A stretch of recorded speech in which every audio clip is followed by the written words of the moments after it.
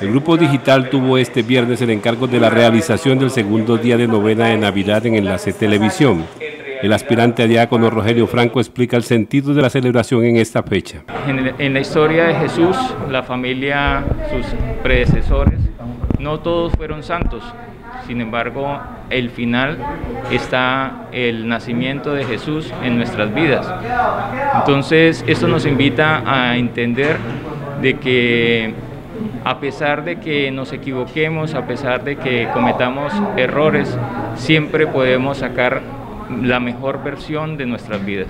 El religioso resume el mensaje de guardar la casa y la familia, mensaje que promueve en todas sus parroquias la diócesis de Barranca Bermeja. La importancia de hacer la novena está básicamente en escuchar la palabra, en encontrarnos con, con el sentido de cada uno de los días, de la invitación que nos hace la novena diocesana para que reflexionemos nuestras vidas, para que encontremos esa, esa razón que en este año nos invita a cuidar nuestra casa común, a que seamos conscientes de que todos vivimos bajo el mismo techo y que todos somos una sola familia y que todos somos hermanos.